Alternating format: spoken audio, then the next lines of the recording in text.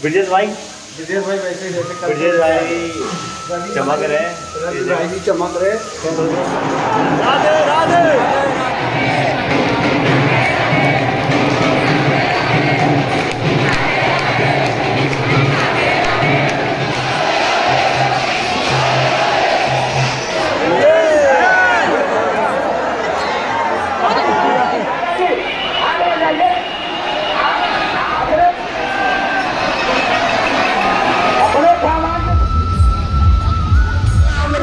के सखाओं को नंदलाला को निमंत्रण देने जाएँगी। लगभग सौ से अधिक सखियाँ होंगी वो। बड़ा उत्सव है ये।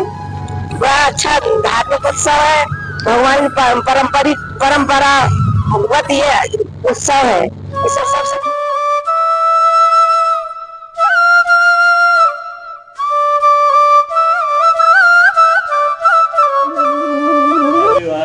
हरे कृष्णा हरे कृष्णा, हरे राम हरे राम। तो दोस्तों हम लोग फ़िलहाल दोस्तों फ़िलहाल हम लोग बरसाना धाम में हैं और यहाँ पे हमने अपना नहाना धोना करके एकदम गेटअप कर लिया रेडी एकदम देखिए क्रीम पाउडर लगा के बीरू भाई भी और रवि भाई भी चमक रहे हैं और यहाँ पे हैं। ब्रिजेश भाई? विजय भाई वैसे ही ब्रिजेश भाई चमक रहे हैं। चमक रहे तो दोस्तों हम लोग थोड़ी देर में निकलेंगे ऊपर बरसाना मंदिर की तरफ़। तो आप लोग भी हमारे साथ बने रहें और दर्शन कराएँगे आप लोगों को भी बरसाना मंदिर की। हमारी पूरी टीम है। हमारी पूरी स्टाफ की टीम, जो कि धीरे धीरे कदमों से बरसाना मंदिर की तरफ़ पहुँच रहे हैं। और अभी हम जूते और ये जो बैग वैग हैं, शायद कहीं पे रख देंगे। हम लोग पहुँच चुके हैं मंदिर के प्रांगण में।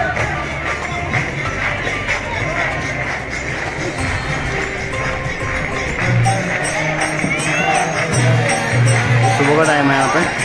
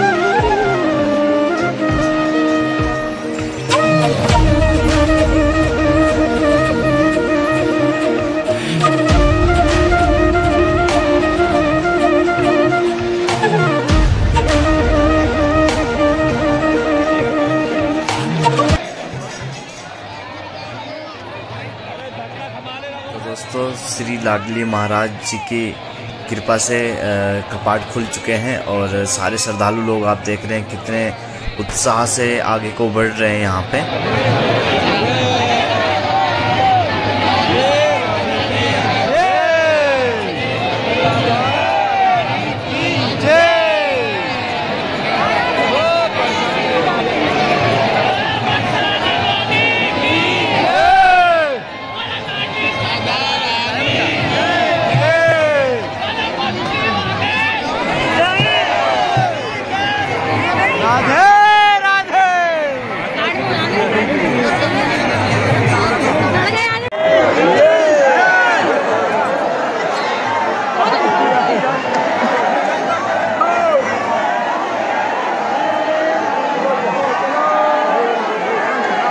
भाई, पूरी भीड़ है पीछे, पूरी भीड़ है। को मैंने सारा दिया अपने हाथ से।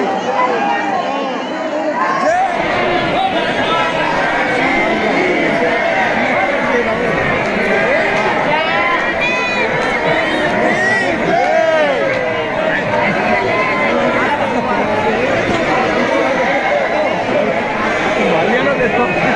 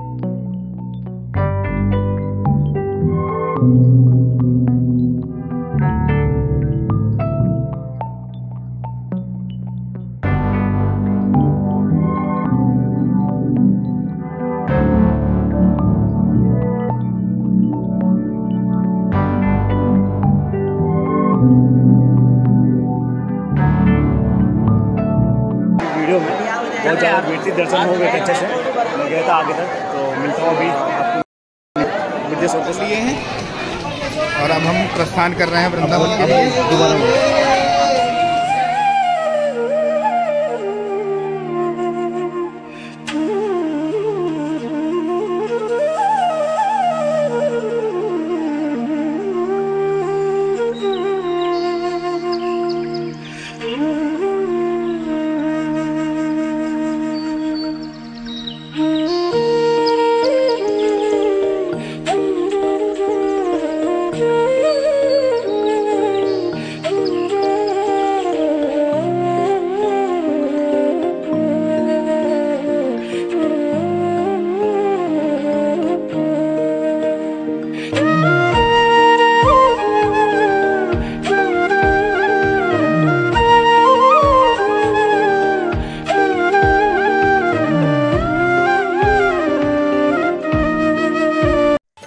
श्री राधे। तो दोस्तों फाइनली हम लोग अब यहाँ से निकलेंगे। लाडली महाराज जी के बहुत अच्छे से दर्शन हुए और ये इतनी भीड़ देख के तो भाई हम लोग दंग रह गए और बहुत ज़्यादा रस था और बस हम यहाँ से निकलेंगे अब नंदगांव के लिए। नंदगांव में जाने के लिए हमने टेंपो किया। टेंपो में हमें एक माता जी मिली, जिन्होंने हमें वहाँ के बारे में बताया कि कहाँ कहाँ आप लोगों को घूमना चाहिए। बहुत अच्छा लगा उनकी मधुर वाणी से और आप लोग ज़रूर देखना ये वीडियो माता जी के जो माता जी ने अपने यहाँ का अपडेट किया, भगवान श्री कृष्ण के बारे में बताया तो आप लोग ज़रूर देखें। नंदगांव का एक विचित्र दृश्य और सुने ज़रूर। है आज हमारे बरसाने वाली महारानी जी की सखियाँ नंदगांव में नंदलाला के सखाओं को नंदलाला को निमंत्रण देने जाएँगी। लगभग सौ से अधिक सखियाँ होंगी वो। बड़ा दीप उत्सव है ये। बड़ा अच्छा धार्मिक उत्सव है भगवान की पारंपरिक परंपरा भगवत ये उत्सव है। इसमें सब सखियाँ आएँगी वृंदावन से, बरसाने से, और यहाँ बड़ा आनंद उत्सव होगा। श्री राधा रानी की जय महारानी की जय सही भक्तों की जय अष्टखियों की जय, नंद बाबा की जय, यशोदा मैया की जय दाऊ मैया की जय, कृष्ण कन्हैया लाल की जय, समस्त ब्रजवासियों की जय। जय जय राधे तो माता जी एक चीज़ और पूछ रहा हूँ मैं आपसे।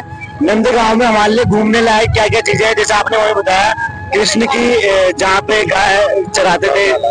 एक बार यहाँ पे जब भगवान कृष्ण बाल स्वरूप में थे तो भोले बाबा कैलाश से आए थे।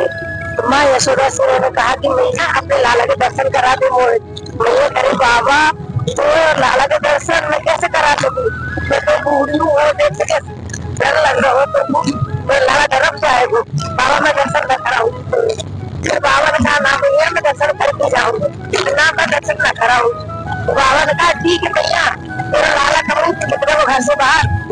जहाँ करने जा रहे जब तो मेरे पूरे बाबू ग्रुप में पूछे, जब मैं दर्शन कर लूँगा लेकिन जाऊँ ना यहाँ से। फिर भोले बाबा जाके वहाँ बैठ गए। हाँ जंगल में जाके बैठ गए। उस स्थान का नाम आशीषर रखा गया। भोले बाबा ने वहाँ आशा करके बैठे थे। इसलिए उस स्थान का नाम आशीषर रखा गया। फिर यहाँ निकलाने की लीला की तो उधर करने लगे, मचल गए। अब माँ से समझे ना। माँ ने प्रतिगुप्तों को बुला के पूछा कि यदि सखिया, जो लाला मेरे ढोल रो रहा हो दूध उलट दो कहा बात? है देखो तो यार तो सखियों ने कहा, मैया, आज तुम्हारे यहाँ सुबह सुबह कोई आयो तो मैया ने कही हाँ हाँ सखी आज आए तो एक बाबा सो आए हो सांप पीछू पातर लटक रहे अब मैंने वहाँ दर्शन न कराई सखी अच्छा मैया तो ठीक है, मैं जाऊँ, देखू कहा है बाबा। तो बाबा के पास गई सखियाँ बाबा को लेते आएँगे फिर बाबा आए तो लाला हंसने लगे, और बाबा की गोद में आ गए। और जब मैया गोद में ले तो बाबा रोने लगे। अब मैया कहे, कैसे करूँ बाबा, ऐसे कैसे कर? तूने कहा, रोना कर और लाला को ना मैया मेरे प्रभु ने करूँगा। ठीक है तुम्हारे लाला अच्छे रहेंगे। फिर बाबा को बाबा ने मोर के पल से झाड़ा लगा दिया उनको। फिर बाबा ने कहा कि मैया मैं यहीं पे नंगे स्वरूप में विराजमान हूँ और जब तक तेरे लाला को होगा तो या, या मैं तुम जो है खटखटा दी मैं आ जाऊँगी। तो अभी भी भोले बाबा यहाँ नंगे स्वरूप में विराजमान है पर्वत पे। और भोले बाबा जब स्नान करते हैं भगवान कृष्ण तो उसी का जल उनके मोरी में जाता है वही मोरी विराजमान है। श्री नंदीश्वर महाराज की जय हो फिर वहाँ आशीश्वर के पास के थोड़ी दूर में ही है कदम पे। अपने लाला का नहीं है जो मैया गोपाष्टमी के दिन वहाँ उत्सव के लिए छोटे छोटे गाय बच्चों को लेकर चराने की थी। तो वो है कदम पे। तो वहाँ पे भगवान ना आवाज़ लगाते थे अपनी गायों कारी, धोरी, पीली, गुलाबी। तो वहाँ से गई आवाज़ लगाते गई दौड़ दौड़ के भगवान कृष्ण के पास आती। अभी ये उत्सव हर गोपाष्टमी में मनाया जाता है। हमारे ब्रजवासी जन बड़े उत्साह से, बड़े प्रेम से उत्सव को मनाते हैं और बड़ी कृपा है राधा रानी की आपके पे हम सबके जो हम लोग अपने जीवन को धन्य कर रहे हैं, यहाँ दर्शन करते हैं। हो सके तो आप लोग को पश्चिमी में भी आना। एक उत्सव जन्माष्टमी के विशेष दिन होता है। नग उत्सव बड़ा विशेष रहता है। ये दो तीन उत्सव हमारे नंदगाम के बरसाने के विशेष है।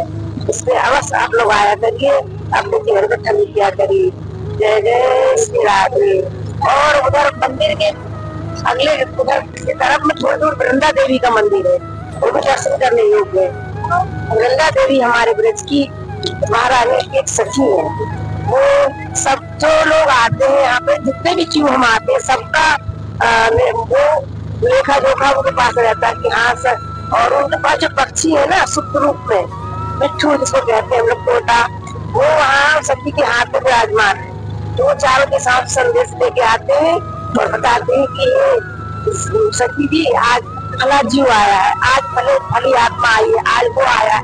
हम जब जो सब आते हैं ना सबका लेकर जो सखी और फिर वो पक्षियों की भाषा जानती है। फिर वो तोता उनसे कहता है सखी जो है हमारी महारानी को संदेश देती है। तो यहाँ एक वृंदा कुंड भी है, वहाँ इनके दर्शन है। वो सभी का प्राप्त करिएगा। यहाँ आपके नंदगांव में छप्पन कुंड है। चरण पहाड़ी है भगवान की। मोर कुंड है मतलब कई प्रकार, कई कुंड है यहाँ पे। हाँ। और जो माता जी माता यशोदा छाछ चढ़ाती थी, वैसे सात मटके थे। सात के सभी एक मटका और गया दर्शन दर्शन के लिए। इधर है आपका यशोदा कुंड जहाँ यशोदा मैया विराजमान है, लाला विराजमान है। वो माता है गौ सेवा चलती वहाँ पे गौशाला है। और नंदलाला के पीछे ही छोटी सी गौशाला है, नंदलाला ने अपने पास गौ माताओं से फूल करने के लिए छोटी सी गौशाला रख रखी है। वहाँ पे सेवी का दूध सेवा करती है। नंदलाला जी को मक्खन, थोड़ा दूध, थोड़ी छाछ, पहुँचा के अपने जीवन को ठंड कर रहे हैं। हम लोग हमने जो अपने जीवन में बचपन में जो ठाकुर जी के लिए समर्पण किया तो ठाकुर जी ने प्रमाणित किया है हमारे लिए कि आप नवीन जीवात्मा हो और मैंने आपकी सेवा स्वीकार किया इसलिए उन्होंने हमको अपने घर में। उधर हमारी महारानी श्री श्यामा जो है, वहाँ मैंने बारह तेरह वर्ष लगातार श्री जी की जन सेवा किया है। तो उनकी कृपा है, उनके धाम में हम लोग आए हैं। तो बचपन में, अनजान में हम लोगों ने समर्पण किया है। प्रमाणित कर दे इसलिए कि आप हमारी हैं, हम सब आपके हैं ठाकुर जी की कृपा है। बड़ी कृपा हुई आप सब लोगों जय जय श्री राम। Música